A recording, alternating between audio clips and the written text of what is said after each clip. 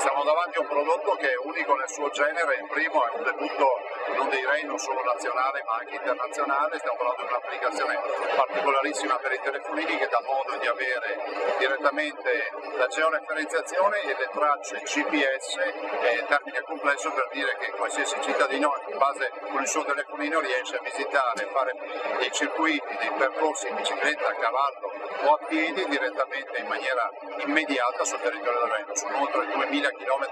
di percorsi, non serve il segnale GPS perché nel momento in cui si scarica la, la traccia sul telefonino si va in automatico senza tabellazioni, indicazioni, mappe o quant'altro.